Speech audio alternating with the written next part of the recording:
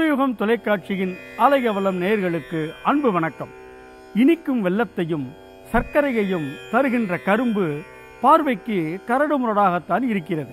அத்துடன் அதனை ஆலை சக்கரங்களில் இட்டு கடினமாக கசக்கி பிழிந்தால்தான் இனிய சாறு கிடைக்கிறது. மேலும் அந்த சாற்றை கடும் சூட்டில் காய்ச்சித்தான் வெள்ளமோ சர்க்கரையோ உருவாக்கப்படுகிறது.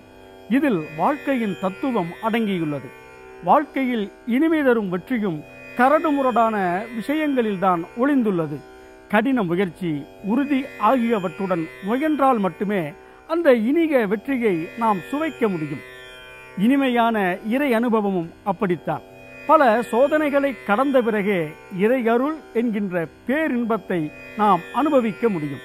கடினமான வாழ்க்கை பாதையில் நாம் சந்திக்கும் சோதனைகளை கடந்து சாதிக்க பக்தி இறை நம்பிக்கை ஆகிய இரண்டுமே மிகச்சிறந்த ஊன்றுகோல்களாகும்.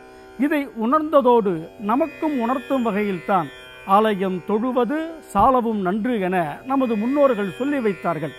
சொல்லோடு அதனை நிறுத்தாமல் செயலிலும் காட்டத்தான் பிரம்மாண்டமான பல்வேறு ஆலயங்களை கட்டி வைத்தார்கள். அத்தகைய பழம்பெரும் ஆலயங்களில் குறிப்பிடத்தக்க ஒன்றுதான் தஞ்சாவூர் மாவட்டத்தில் உள்ள திருக்கானூர் கரும்பேஸ்வரர் திருக்கோவில். பரமசிவனை நோக்கி பராசக்தி தவமிருந்த இந்த புனித திருத்தலம் பரசுராமரின் தோஷத்தை நீக்கிய பாவ நிவர்த்தி புண்ணிய திருத்தலமும் ஆகும். பல்லாண்டு காலம் மணல் மேட்டில் மறைந்திருந்து பக்தரால் வெளிக்கொணரப்பட்ட அபூர்வ திருத்தலமும் கூட பல்வேறு புராண வரலாற்று சிறப்புகளை தன்னகத்தே கொண்டுள்ள திருக்கானூர் கரும்பேஸ்வரர் திருக்கோவில் குறித்த சுவையான தகவல்களை இன்றைய ஆலயவளம் நிகழ்ச்சியில் அகம் குளிர காண்போம்.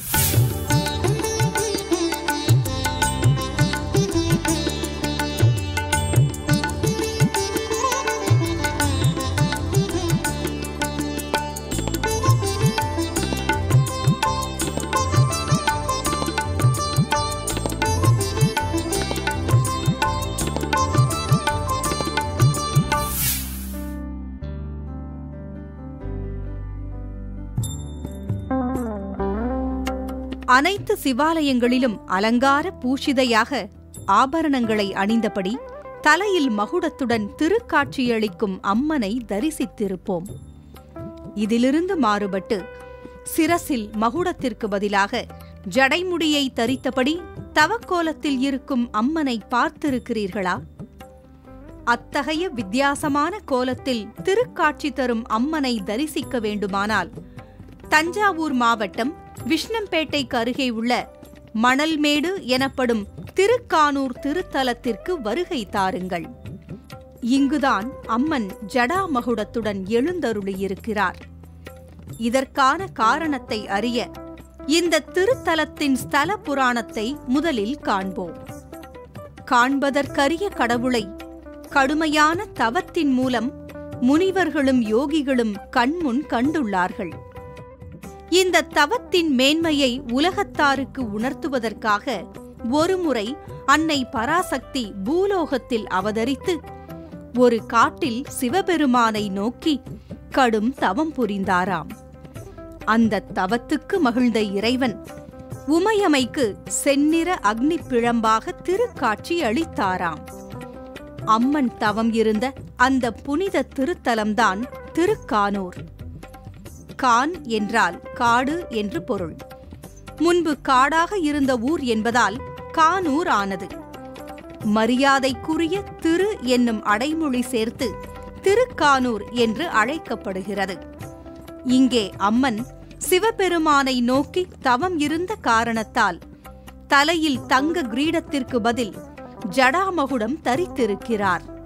தவத்தின் மூலம் தான் ஒரு சிவயோகி என்பதை உமையம்மை உலகிற்கு காட்டியதால் அவருக்கு சிவயோக நாயகி என்ற திருப்பெயர் ஏற்பட்டுள்ளது.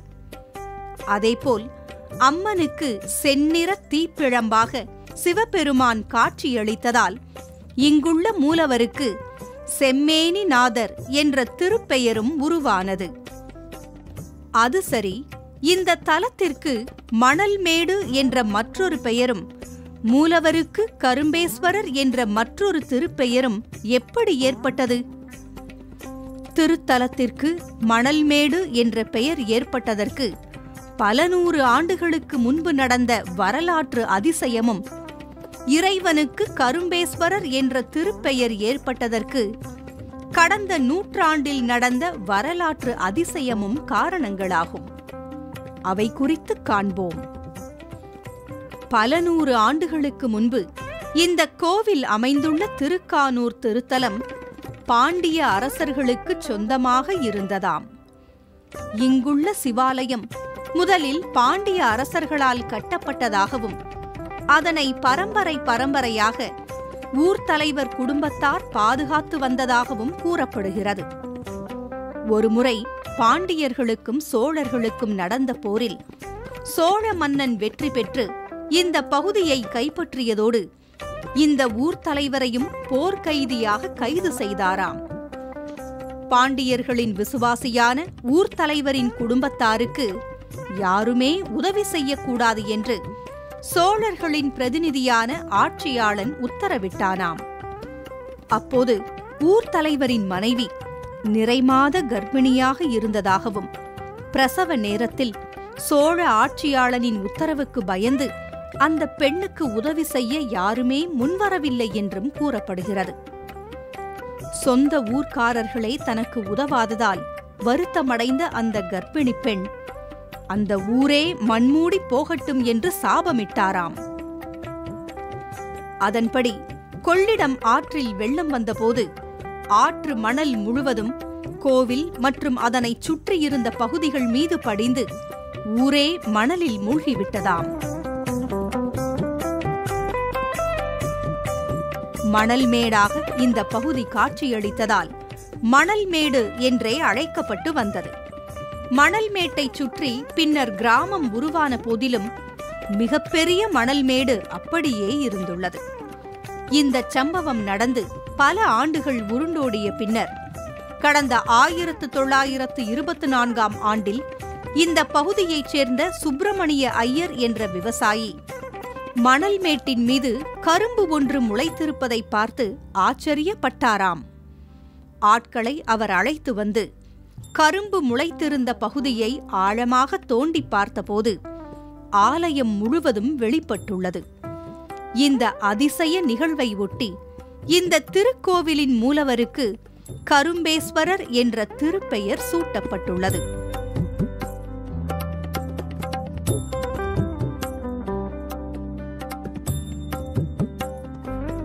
திருக்கானூர் சிவன் கோவில் மூலவருக்கு செம்மேனிநாதர் கரும்பேஸ்வரர் ஆகிய திருப்பெயர்கள் தவிர வேறு திருநாமங்களும் உண்டு.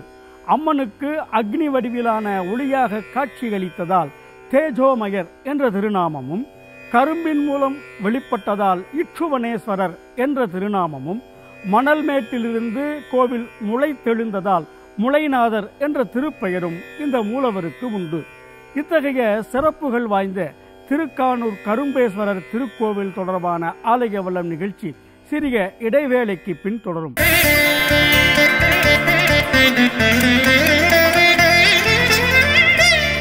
தேவார பாடல் பெற்ற சிவாலயங்களில் நூற்று பத்தாவது திருத்தலமாக திருக்கானூர் கரும்பேஸ்வரர் எனப்படும் செம்மேனிநாதர் திருக்கோவில் போற்றப்படுகிறது.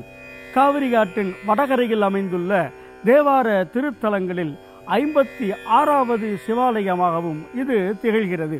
திருக்கானூர் திருத்தலத்தை போற்றி திருஞான சம்பந்தர் திருநாவுக்கரசர் ஆகிய இருவரும் தலா ஒரு பதிகத்தை அதாவது பத்து பாடல்கள் கொண்ட தொகுப்பை பாடியுள்ளனர். இவற்றுள் திருஞான சம்பந்தர் பாடியிருக்கும் பதிகத்தின் முதல் பாடல் வானார் சோதி மண்ணு சென்னி வன்னி புனங்கொன்றை தேனார் போது தானார் கங்கை திங்களொடு சூடி மாநேர் நோக்கி கண்டங்கு உவப்ப மாலை ஆடுவார். கானூர் மேய கண்ணூர் நெற்றி ஆனூர் செல்வரே என்று செம்மேனிநாதரை போற்றி துதிக்கிறது.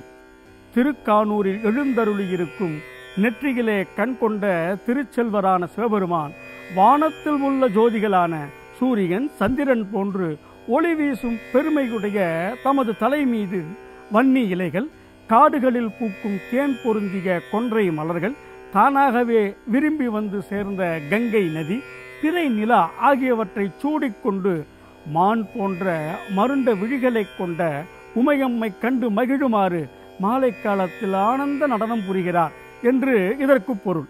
இவ்வாறாக உமையம்மை மகிழும் வண்ணம் ஆனந்த கூத்தாடும் தேனினும் இனிய கரும்பேஸ்வரர் எழுந்தருளியிருக்கும் திருக்கானூர் திருத்தலம் தொடர்பான ஆலயவளம் நிகழ்ச்சி தொடர்கிறது.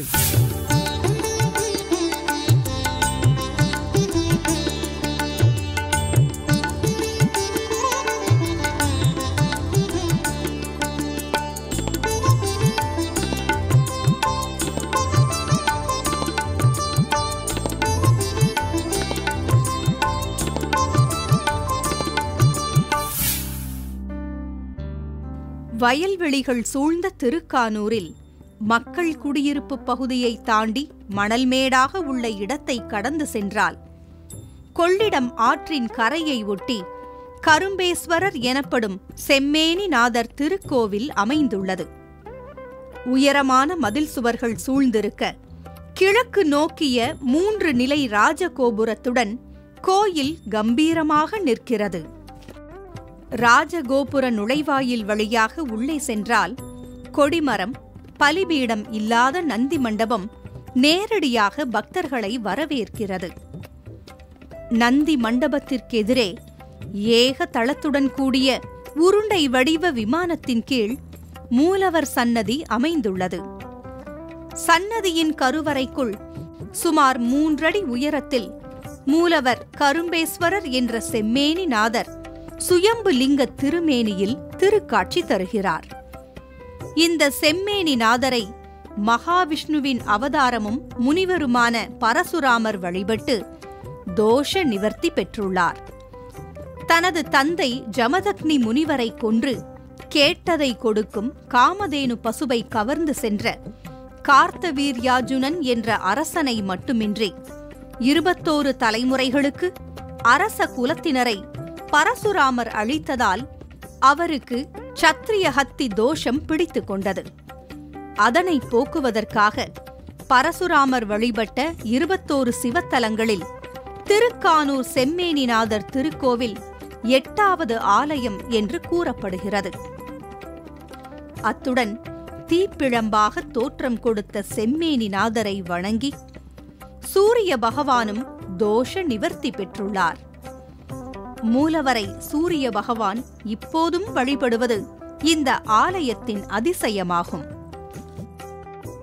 ஆண்டுதோறும் பங்குனி மாதத்தின் மத்தியில் ஆங்கில மாத கணக்கின்படி ஏப்ரல் மாதம் இரண்டு மூன்று மற்றும் நான்கு ஆகிய மூன்று தினங்களில் விடியற் காலையில் திருக்கானூர் செம்மேனிநாதர் திருமேனி மீது சூரிய கதிர் விழுந்து அவரை வழிபாடு செய்கிறது. மூலவர் கருவறையின் கோஷ்டத்தில் மூலவருக்கு பின்னே அர்த்தநாரீஸ்வரர் அருள் பாலிக்கிறார். தென்முகக் கடவுளான தட்சிணாமூர்த்தி பிரம்மா துர்க்கை ஆகியோரும் கோஷ்ட தெய்வங்களாக வீற்றிருக்கின்றனர். கருவறையைச் சுற்றியுள்ள பிரகாரத்தில் விநாயகருக்கு தனிச்சன்னதி உள்ளது. இதேபோல் மற்றொரு தனிச்சன்னதியில் வள்ளி தேவசேனை சமேதரான சுப்பிரமணிய பெருமான் அருள் புரிகிறார்.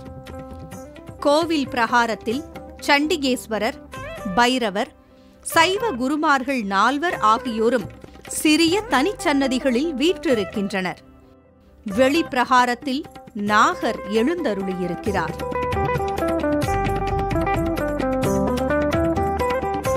சிவபெருமான் திருமேனியாக லிங்கம் துதிக்கப்படுவதைப் போல மகாவிஷ்ணுவின் வடிவமாக சாலக்கிராமக்கல் மதிக்கப்படுகிறது. நேபாளத்தின் முக்திநாத் திருத்தலத்தில் உள்ள கண்டகி ஆற்றங்கரையில் இந்த சாலக்கிராமக்கல் அதிக அளவில் காணப்படுகிறது. கண்ணனின் நிறமான கருப்பு நிறத்தை கொண்டிருக்கும் இந்த கல்லில் திருமாலின் அடையாளங்களான சங்கு சக்கரம் கதை தாமரை போன்ற உருவங்கள் இயற்கையாகவே காணப்படும். இந்த உருவங்கள் அமைந்திருக்கும் அமைப்பு முறையை பொறுத்து அறுபத்தி நான்கு வகை சால கிராமங்கள் உள்ளன. இவ்விதம் மகாவிஷ்ணுவின் அம்சமாக வணங்கப்படும் சாலக்கிராம கல்லால் சிவயோக நாயகி அம்மன் விக்கிரகம் உருவாக்கப்பட்டுள்ளது. இத்தகைய அபூர்வ திருமேனி கொண்ட அம்மன் திருக்காட்சிகளிக்கும் திருக்கானூர் கரும்பேஸ்வரர் திருக்கோவிலின் சிறப்புகளை கூறும் ஆலயவளம் நிகழ்ச்சி சிறிய இடைவேளைக்கு பின் தொடரும்.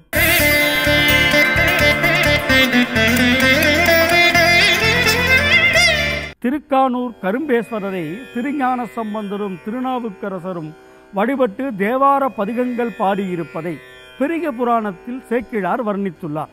அத்துடன் வள்ளலார் என்று போற்றப்படும் வடலூர் ராமலிங்க அடிகளாரும் கரும்பேஸ்வரரை வணங்கியுள்ளார். தமது திருவருட்பாவில் வானூர் மதிபோல் மணியார் குமுதமலர் கானூர் உயர் தங்க கட்டியே என்று கரும்பேஸ்வரரை வள்ளலார் போற்றியுள்ளார்.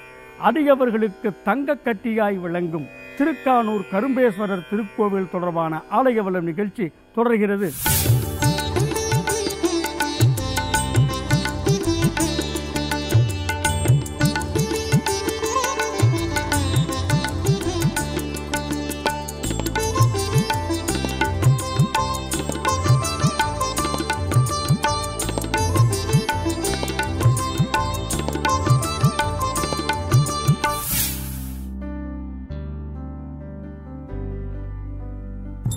திருக்கானூர் கரும்பேஸ்வரர் திருக்கோவிலில் மூலவர் சன்னதியை அடுத்து அம்மனுக்கு தனிச்சன்னதி உள்ளது. தெற்கு நோக்கிய சன்னதியில் வேசர வகை விமானத்தின் கீழ் அமைந்திருக்கும் கருவறைக்குள் சடைமுடியை மகுடமாகக் கொண்டு நான்கு திருக்கரங்களுடன் நின்ற கோலத்தில் அம்மன் காட்சி தருகிறார். மகாவிஷ்ணுவின் வடிவமான சாளக்கிராம கல்லால் அம்மன் விக்கிரகம் அமைந்திருப்பது வேறு எங்கும் காண முடியாத சிறப்பம்சமாகும்.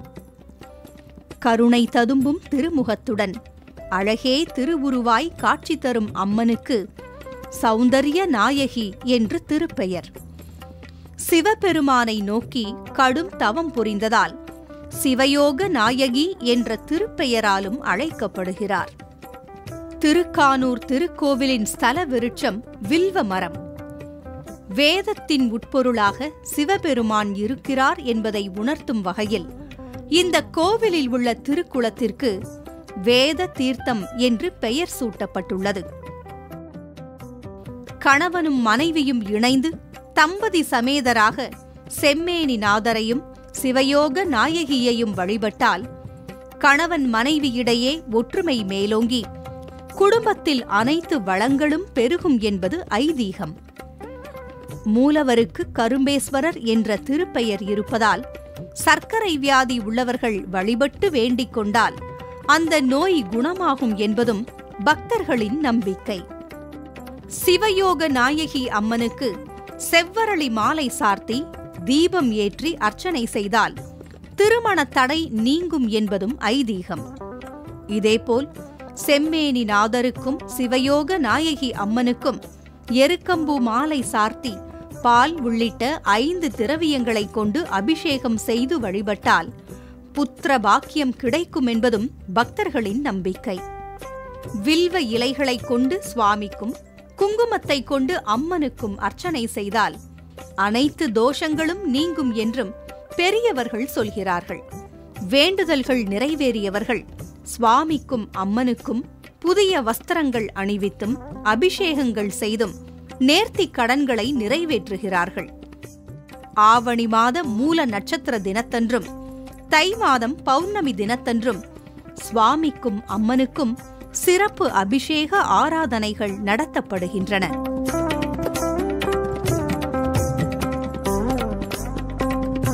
திருக்கானூர் கரும்பேஸ்வரர் திருக்கோவில் சுமார் இரண்டாயிரம் ஆண்டுகளுக்கு மேல் பழமை வாய்ந்ததாக கூறப்படுகிறது.